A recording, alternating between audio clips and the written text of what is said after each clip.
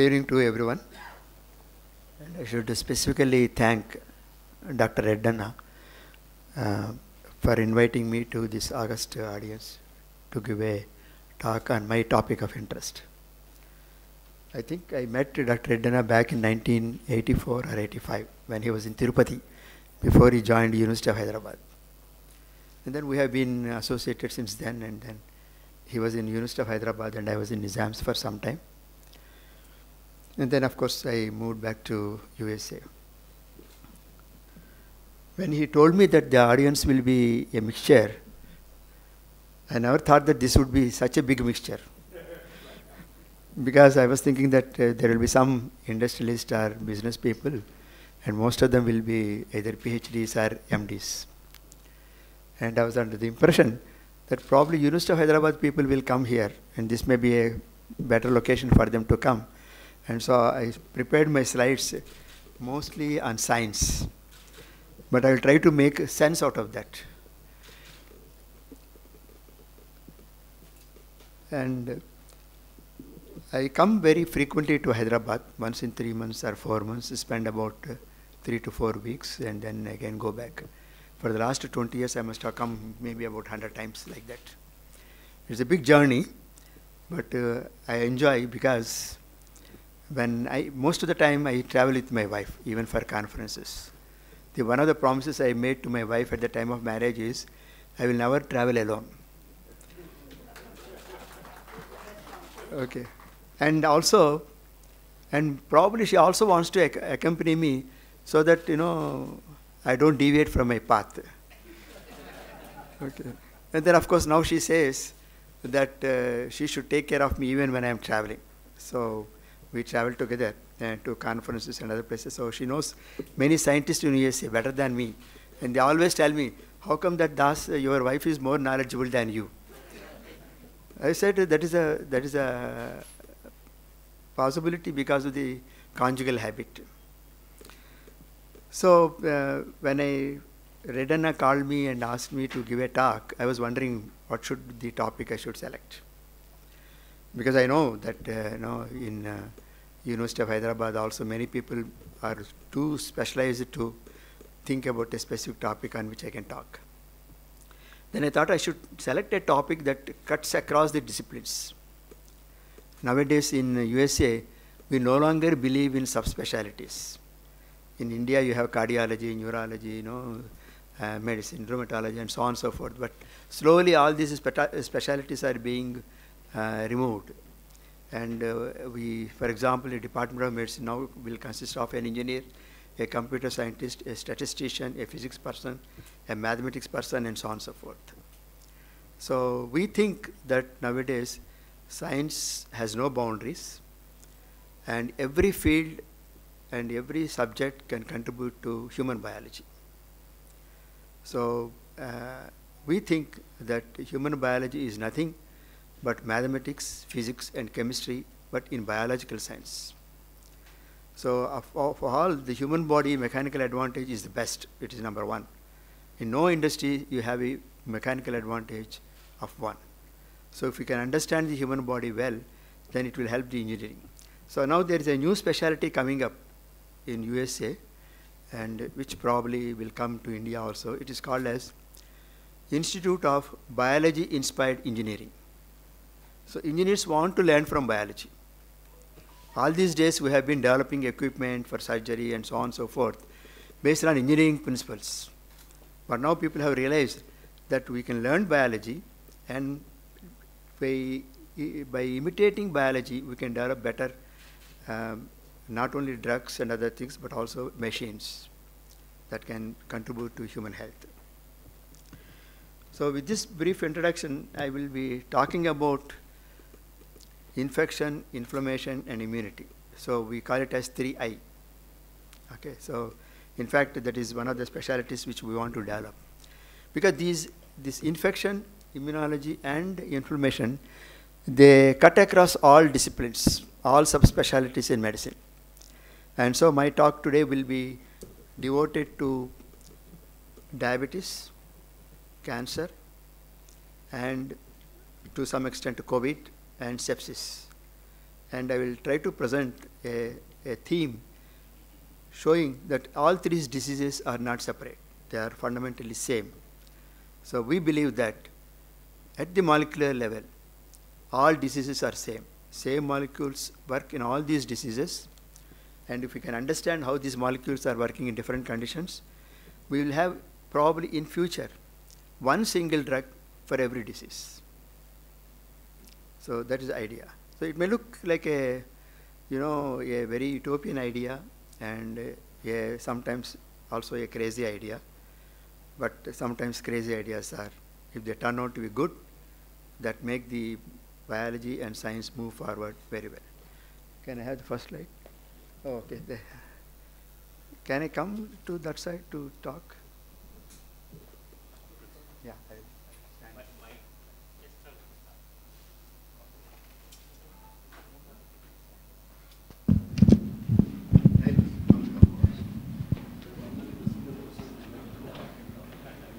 Uh, people who are sitting on the dais, that we have few people and politicians would like to have a big crowd uh, and unless the crowd is there, they don't want to come and talk. That reminded me a meeting which I had about uh, one year or so back at uh, University of Stanford, where I was invited to give a talk. And uh, it was circulated, but I don't know why, what happened. There were only 10 audience in the biology special lecture. And after the lecture, uh, we decided to, with uh, Professor Dixon, to do a collaborative work. And in the process, we identified a new mechanism by which cells die. It is called as ferroptosis. And uh, that is what that is important. So it is not the number of people that is important, but it is the number of people who are interested. And uh, the I think about six months back, I was invited by uh, Ramchandra Medical College in Chennai. So they asked me, you select a topic, whichever topic you want to talk. Then I said, are you sure? They said, said, no problem. We have so many doctors and many PhDs and so on and so forth. Then I said, uh, don't say no when I tell, the, tell you the topic title. They said, no, no, no, tell. Then I said, the title of the topic, the title of the talk would be how physicians are inadvertently harming their patients. then they said, please don't talk. so uh, we don't realize, uh, many times uh, doctors don't realize that they are harming their patients, though it was not intentional. So maybe some other time I will talk about this. And I told my wife about this topic. Then she said, you don't bother about to give a talk on this topic. You write an article and publish it in a journal. They must be bold enough to publish it. But I can tell you, one of the problems with the doctors, because I am a doctor, I know, one of the problems with the doctors is they think that they know too much or they know everything. But I can tell you that if a person, if a physician is very honest, he should say that he does not know anything. I, when I was doing my MBBS, there used to be a professor of medicine. He used to tell us, uh, whenever he used to take uh, classes to explain the, the symptomatology and science in the patients, that when a person completes his MBBS, he thinks that he knows everything in medicine. When he completes MD, then he will realize that he only knows 50% of medicine. And when he becomes a professor, then he realizes that he knows only 25% of the medicine. And when he retires, he will realize that he does not know anything in medicine. So as your knowledge grows, you realize over a period of time that how little you know about what is happening in the human body, in the disease processes, and the type of treatment you are offering, and so on and so forth. So this is very important. It is very important to realize the limitations, the human limitations, limitations of our knowledge, and limitations of our skill, and so on and so forth. So it is with this idea then I thought that uh, when uh, uh, Indian Institute of Technology, Hyderabad, asked me to give a talk last time when I came, I said, what can I talk to engineers? So I told them, then I will talk to you some very fundamental uh, topic to tell you that there is no difference between diabetes and cancer. because they are not familiar with biology and medicine, for them it is very good. Because anyway, they, they don't find any difference between cancer and diabetes. But when you want to talk to doctors and to PhDs, a topic like that, it looks like a, a stupid idea to talk like that. So today I will try to take you, though there is a little bit of molecular biology, biochemistry involved, but I will try to see how I can explain those things uh, uh, to the extent possible. See how there is no difference between diabetes, then you know, COVID, and uh, cancer, and so on and so forth. Can I have the next slide? Can I change the slides here? Okay, thank you very much. So, uh, we now think, previously we used to think that as you age, you develop diseases and those called as the degenerative conditions. Like, for example, forgetting memory, know, forgetting things, then developing osteoarthritis, pains in the knees, diabetes, hypertension, heart disease. All these things were considered as degenerative conditions.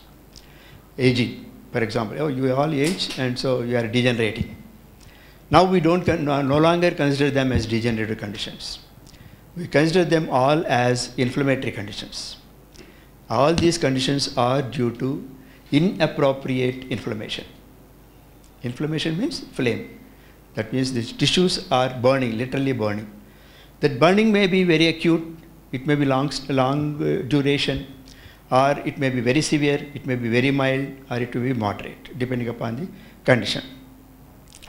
So, with that idea, we realized that over a period of time, that is it possible that we so-called degenerative conditions or so-called metabolic conditions or cancer have same fundamental issue, but because the targeting tissue is different, you are getting different diseases. So it is like, you know, looking at a, a class of 50 uh, students in, when they are in intermediate, everybody is same, everybody is studying the same subject. But down the line, after 10 years or 20 years, all these 15 candidates will be in diff 50 different fields. Similarly, molecules are same, but the way the molecules are attacking each tissue is different, and the target tissues are different, and so you get different diseases. So the most of the slides I prepared are my recent articles, two articles which I wrote. One is how inflammation and its resolution occurs. And the second thing is a new, new theory of aging. So aging is not due to damage to DNA or gene expression is different and so on and so forth, but it resides in the membrane, cell membrane.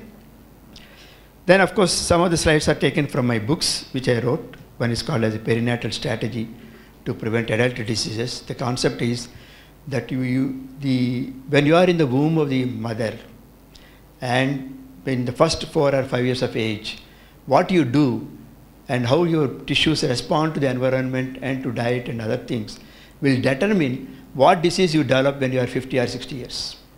That means you are already programmed by the time you are in, in the second trimester, third trimester in the mother's womb, what disease you develop when you are 50 years or 60 years of age. So this we call as a perinatal programming and uh, we think that because of this concept, you have to develop preventive measures when you are in the first year of age, or when you are just born, or when you are still in the womb of the mother. So this is a new concept, and this book I wrote almost 20 years back in 2000. Okay. Now it is a closely capped. Then of course molecular basis of health and disease. What is the definition of health? Why you, you get develop disease? and uh, what is the difference between disease and health and so on and so forth. Then one of my recent books has been on metabolic syndrome, that is diabetes, and there was on cancer. Because we, we our concepts cut across all these disciplines, we could write books on different topics which are totally different. So on the surface of it, they look as though they are different conditions, but in fact they are not. So let us come to the, the fundamental process of uh, inflammation. So the inflammation can uh, uh, yeah, can inflammation can affect any disease in the in the body, any tissue in the body. So every disease you develop is actually an inflammatory condition, including diabetes. People say that diabetes is due to increased glucose levels, insulin is not working properly, no exercise, and so on and so forth. They're all right. But underlying that is the, uh, the inflammatory process. And because of that understanding, we found that insulin has another action other than reducing blood glucose levels. The general belief is that the main action of insulin is to reduce blood glucose levels. And that's why diabetics, when their blood glucose levels are not under good control, they are giving insulin. But we found that in addition to reducing blood glucose levels, it has got some very important action. That is to suppress inflammation. So, of course, this is just a, a, slide showing what types of inflammation are there, acute inflammation, chronic inflammation, and so on and so forth. Acute inflammation, generally when you get, you know, like a COVID, severe COVID, or when you have sepsis, or malaria, those things. When chronic inflammation is like osteoarthritis, diabetes, hypertension, these are all chronic inflammation. Chronic means it's uh, going on for a very long time, but it is not really very severe enough to produce any pain. But there is some amount of inflammation is going on in the tissues. There are many tissue, uh, tissues and many molecules are involved in the process of inflammation. And they are all same, and so I will come to that a little bit later. So this is one of the slides, uh, uh, very standard slide. This is a very old slide also. When you take normal individuals and estimate their blood glucose levels and their lipid profile, you find that everything is normal. And then you also measure their insulin levels, which is not done routinely in any hospital by any doctors or by any endocrinologist or diabetologist. But I feel that it should be done. So if you look at this slide, the, when you are fasting, your blood glucose levels are, let us say, around 81 or 82. And now you take glucose or you take your full meal and then again do the blood glucose level every hour or every half an hour. This is what is called as GTT, glucose tolerance test. You know, then you find that immediately after eating, after one hour, the blood glucose levels goes up by one and a half times or two times. Then over a period of time, in three to four hours time, it comes back to normalcy. So this is the standard uh, way the blood glucose levels uh, respond to food intake. At the same time, if you measure glucose insulin levels, the initially the insulin levels are very low when you are fasting, and the moment you eat food, the insulin levels will increase by almost 10 times or so. Yeah, I think so. Uh, four times it increases. So that is expected because blood glucose levels are increasing and so the insulin should be released from the pancreas to reduce the blood glucose levels. But, the, but see the discrepancy. The fasting blood sugar increases after eating food only one and after two times, but the insulin levels increase by four to five times. So there is a disproportionate increase in glucose level, in insulin levels.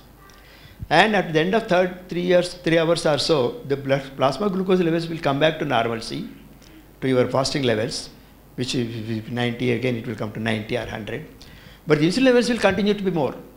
There are still two to three times more than the fasting levels. So when we looked at this slide that puzzled us. And this is a very old slide. Everybody sees every doctor must have seen many phds must have seen endocrinologists must have seen. but nobody questioned why insulin levels does not drop along with glucose levels then we thought there is something happening with insulin. Because if insulin levels continue to be high, even though the blood glucose levels have come back to normalcy, the patient should go into hypoglycemia. The blood glucose levels should drop and then it should become unconscious. It will not drop. It will remain at the fasting level only, 90 or 100. But the insulin levels are two to three times the fasting insulin levels. Then we thought insulin is doing something. Then we said insulin is having action other than reducing glucose levels. Okay? And then we said it must be having some action on inflammatory process, which is a very fundamental process in the body. So we measured the one gene expression in the cells, which reflects the inflammatory process. So the moment you eat food, the inflammatory genes that control the inflammatory process are increased, and after three or four hours, they again come back to normalcy. So that means one of the functions of insulin is not only to control glucose levels, but also to reduce inflammation. So the insulin levels will continue to be high as long as the inflammatory process triggered by the high glucose levels are present and only when they come back to normalcy, insulin levels also will come back to normalcy. That is why now the action of insulin is not to reduce glucose levels, but to reduce inflammatory process. So the body has devised a mechanism by which insulin is now directed to reduce inflammation, not reducing glucose anymore. It has reduced the glucose levels to normalcy, and after that, its action is now on the inflammatory process to reduce the inflammation. That is the reason why, if it is possible, every patient should have glucose levels and also insulin levels estimated at the same time. But nobody does it. I ask all my patients to get, even though it is expensive, if you can afford it, get it done. This is because if you take two individuals, or the same individual, today your blood glucose fasting levels are 90. Or let us say you are a diabetic, if your blood glucose levels are 200. You do exercise, you take medicines and all those things, your blood glucose levels come back to 100. At that time, you estimate your insulin levels when it is 200. Okay? And then when it comes to 100, again you estimate insulin levels. If your diet control and if your exercise and everything is good, then there should not be any change in your glucose levels much, but your insulin levels should drop. That means insulin should be working now much more efficiently to reduce inflammation. So this is very important.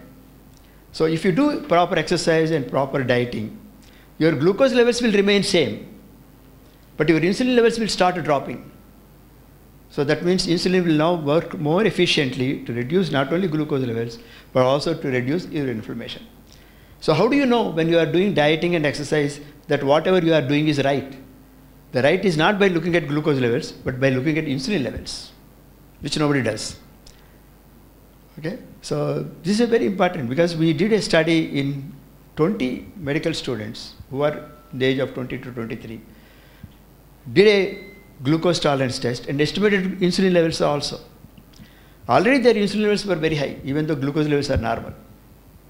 That means already they are developing having insulin resistance. They are no longer responding to insulin properly, and so the body is trying to compensate it by producing more and more insulin.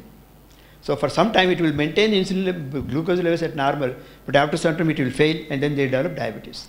And that is why Indians develop diabetes at a very young age. Then of course we did a study to see what happens if you lose weight. When you lose weight, not only your glucose levels and your insulin levels drop, but also the inflammatory process drops. So when you lose weight, the inflammation is much less in the body. So that is the reason why you should try to lose weight as you are advancing in age. Because with age, inflammation increases. So putting all these things together, we published three, four papers saying that, you know, uh, that insulin is an anti-inflammatory molecule and di diabetes and obesity are uh, due to inflammation and so on and so forth. Based on this concept, in Europe, a multicentric trial was done where insulin was given to patients all those patients who are otherwise sick, even if they are not diabetics. They are not diabetics, they underwent coronary bypass surgery, they underwent a surgery for you know orthopedic surgery, they underwent some abdominal surgery, or they are very ill and so they are admitted in ICU or acute medical care unit. So and they don't have diabetes to start with, and they were all given insulin infusions. Continuous glucose infusion was given, and glucose levels were monitored. Surprising thing is when this trial was done, None of these patients go into hypoglycemia because we are giving insulin. Because they are resistant to insulin action and so they. But the, at the same time, inflammatory markers were also measured and it was found that their inflammation is subsiding as they are getting insulin. So this we call as continuous insulin uh, infusion with continuous glucose monitoring. Of course, we have there the setup where you know we can continuously monitor glucose levels and we can program the, the glucose monitor in such a way that if the glucose levels are 70, it will give a beep. If it is more than 200, it will give a beep. And but continuous insulin will be monitored. So it was found that when continuous insulin, in, insulin infusions were given, the recovery process is very fast and their hospital stay is reduced by 25 to 30 percent. This was done almost uh, uh, 15 years back Okay? And so now it is a standard practice in all USA hospitals and European hospitals to give insulin infusion to all sick patients, irrespective of their diabetic status. But somehow that is not done in India because we don't have the mechanism and to monitor insulin levels, glucose levels continuously and so on and so forth. Okay. So that means we have described a new action for insulin that it is an anti-inflammatory molecule. And this is, of course, further we have done further studies with a Chinese uh, collaborators, and we have shown when you give insulin infusion, the recovery of your heart from myocardial infarction is better. Okay, so uh, so nowadays what we do is when the patient undergoes bypass surgery and when the patient has heart attack, we give what is called as a GIK regime, glucose, insulin, potassium, so that the heart recovery process is better. And then then we wanted to know why this is happening. Why this insulin is, how and how this insulin and how these uh, inflammatory markers are affecting the glucose function, glucose uh, levels and the di diabetic status and what is happening to the pancreatic beta cells. So one of my students from Portuguese he has come to do the PhD. So what we did is uh, everybody does insulin levels, glucose levels and all those things. We said not. Let us look at the pancreatic beta cells, what is happening. So this is slide, you don't have to understand this slide, but the color shows the amount of inflammatory markers in the pancreatic beta cells which secrete insulin. So when you are sedentary and if you don't do any exercise, lot of inflammatory molecules will accumulate in your pancreas. But if you do exercise, all these inflammatory markers are removed from the pancreatic beta cells. And so insulin production is better and your inflammatory process is much less. So this we have shown in animal study whereby doing what is called as histochemistry and so on and so forth, we have shown that the more exercise you do, it is helpful for you because your pancreatic beta cells will work better because they don't have any inflammatory markers accumulating in the pancreatic beta cells. So that is why the exercise is beneficial. So in summary what we have described is that glucose is an inflammatory molecule. That means every time you are eating food, you are producing inflammation in your body. But at the same time, insulin is produced so that it can suppress this inflammation. But if you continue to eat, or you continue to eat more, then inflammation continues to occur and that ultimately produces various diseases. That's how you develop diabetes, obesity, myocardial infarction and so on and so forth. So in other words, food is inflammatory. That means produce, food produces inflammation. You don't have to have any, any disease from outside or anything. The very eating your breakfast, lunch itself is inflammation. But you try to make it in a regulated fashion and try to control it. That is the reason why you have to eat less food so that less inflammation is produced. Then of course we have found that you know uh, this glucose, whatever food you take, it increases the inflammatory molecules and so on and so forth. And exercise is anti-inflammatory. The more you exercise you do, the less inflammation in your body and you look healthy. Then at the same time, we wanted to know how our cells recognize that there is, we have taken food and it's producing inflammation and what changes occur in the DNA and so on and so forth. A little bit of molecular biology. There is a very old uh, uh, laboratory test we used to do in back in 1980s when I was just completed my MBBS and joined Department of Genetics in Usman Institute to do research because I was never interested to become a physician. But I was forced to become a physician, that is a different issue. And so we used to do a test what is called as a micronucleus test. So if you look at this slide, there's a big blue thing that is a nucleus. And next to that slide, the arrow shows a small, another blue dot. That is called as a micronucleus.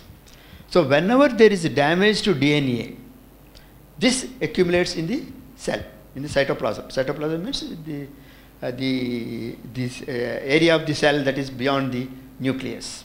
It accumulates that.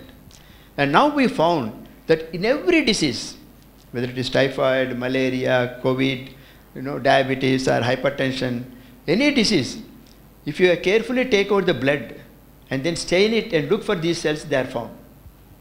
And the number of micronucleated cells in the circulation will reflect the amount of inflammation. If you have COVID, severe COVID, then the number of cells will be more. If it is less severe, the number of micronucleated cells will be less. And this is very paradoxical.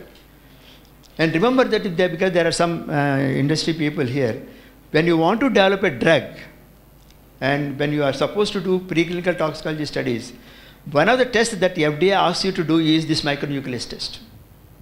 This is mandatory. Without that test, they will never approve your drug. Because they know that whenever there is any damage done by any drug or anything, the micronucleate cells will accumulate in the body. So this test I used to do in back in 1980 as a, you know, for some investigations and so. So these micronucleate cells are extremely important. And so whenever there is damage or whenever there is any infection, then this is very interesting. Whenever you get any infection, virus, bacteria, fungal, whatever it is, to produce infection to your cells, it, this microorganism has to enter the cell. That means it has to pierce through the membrane and enter into the cytoplasm. And when this microorganism enters into the cytoplasm, that microorganism also has a DNA. Okay, so that DNA comes into the into your human cell that is infected with the microorganism and that nucleus or that DNA, the microorganism DNA is there in the cytoplasm of the cell. It is not supposed to be there because it is harmful to the body. So the cell has developed a mechanism by, by, by which it recognizes this foreign DNA in the cytoplasm. And this is a, a, sensory mechanism that is present in the cell and this is called as sea gas sting system. Okay, don't bother about explanation and everything. Just remember, it is a sting. Okay, sting like a, we have a, a, a sting. Okay, so when it when this uh, uh, cGAS-STING system uh, uh, detects this foreign DNA, then immediately the genes meant for information are triggered, and they produce various cytokines, other molecules which produce inflammation, and that is how the inflammation occurs whenever you get any infection. So that means when you are infected with bacteria, fungus, viruses, or, or even high glucose levels, then the cGAS system is activated and that produces inflammation. That means indirectly, whatever food you are taking, whatever infection that is occurring is acting on the DNA of your healthy cells. And the healthy cells, to protect themselves, they produce these molecules and they try to remove this DNA, this extra DNA or the micronucleus that is present in the cells. And body has developed a very clever mechanism to eliminate these micronucleated cells. So we did a study, one of the powerful inflammatory inciting agent is radiation. Okay, so if you give radiation, it is a very powerful physical way of producing inflammation. And of course, that is also used for the treatment of cancer also. Okay, so we did a study. This is a slide showing micronucleated cells. And then because my interest is in lipids and all those things, we took a lipid, several lipid molecules and injected them into the animal to see what is happening. Okay, then we found that these molecules, when we inject them, they eliminate these micronucleated cells from the body. That means these lipid molecules have the property to kill the cells which contain the extra DNA of the microorganisms and they eliminate them. And this is very interesting because whenever the microorganism is entering the cell by piercing the membrane, the enzymes that are present in the membrane are activated and they release these lipid molecules. That means the moment the microorganism is entering the cell, the lipid the cell membrane also is activated and when cell membrane is activated it releases certain lipid molecules and these lipid molecules in turn act on the same cell from which it is released to kill the cell so that these micronucleated containing cells are not there. Why that they should be eliminated is if these micronucleated cells exist for a longer time in the body, they can get converted into cancerous cells. So that means there is damage to DNA and so they become cancers after some time. So they have to be eliminated. So that is done by the, these lipid molecules. So these are all the publications in that area. Then we said if these micronucleated cells are present in so many diseases, can we uh, do something with these lipid molecules which we found that they are eliminating the, these uh, micronucleated cells? So we tried to induce the diabetes in the animal model and then injected several lipid molecules and look at it, what is happening to diabetes status. Then we found that of all the lipid molecules we, we investigated, some molecules can completely prevent diabetes. That means the same molecule which can eliminate the micronucleated cells in the body can also prevent development of diabetes. And we know that micronucleated cells, if they accumulate for a longer time, they develop into cancer. That means the same fundamental process occurs both in diabetes and in cancer. But the paradox here is it is able to protect the pancreatic beta cells and prevent diabetes. But when it comes to cancer cell, it will kill the cancer cell. That means the same molecule has two properties depending upon the situation. It will kill the cell in the case of cancer. It will protect the pancreatic beta cells to prevent the diabetes. This is a very, a very interesting uh, topic. Then, of course, we did a lot of studies to look at the diabetes and all those things, and we found that yes, you can eliminate the uh, uh, diabetes by using this molecule. Then I'm not going to talk to you about the pathobiology of diabetes and all those things. So that means then we said that diabetes and cancer are two sides of the same coin. In diabetes, you are trying to protect the pancreatic beta cells so that your insulin production is, is continuing to occur and you don't develop diabetes. When it comes to cancer, the same molecule will work on the micronucleated cells or the infected cell and then the abnormal cell and then kills them. So we, let us not bother about the mechanism because we know the mechanism also. Why it is able to produce the protection to the pancreatic beta cells at the same time it is able to kill the cancer cell. I'm not going to talk about it.